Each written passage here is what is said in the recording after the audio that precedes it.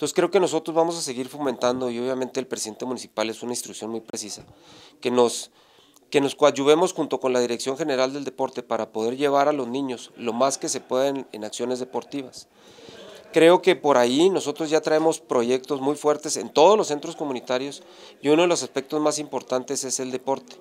En el caso muy específico de Felipe Ángeles, el retiro, creo que les va a quedar una instalación de primera, para que ellos puedan practicar su deporte del taekwondo. Pero en algunos otros centros comunitarios vamos a impactar muy fuertemente con el fútbol rápido, en donde no tenemos una posibilidad de, manejar el taekwondo, por ejemplo, o alguna otra disciplina. Si no podemos manejar el básquet, cuando menos vamos a meter canchas de fútbol rápido, que son un poco más chicas, ¿verdad? Que una cancha normal, pero impactar hacia los jóvenes en ese aspecto, en el aspecto deportivo.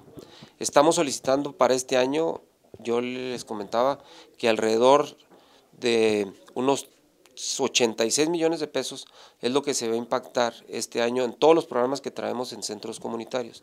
Y para ellos el deporte es muy importante, entonces nosotros vamos a pedir, le estamos pidiendo a la federación, que es una de las, de las entes que más nos está ayudando, a que uno de los principales cosas en las que vamos a estar trabajando es el deporte. Entonces yo creo que a través de él vamos a poder sacar a los niños de la delincuencia porque curiosamente hay muchos, y lo hemos visto y las estadísticas así lo están dando, que muchos jóvenes están delinquiendo porque no tienen espacios. Entonces para nosotros el deporte y la cultura y el arte es muy importante.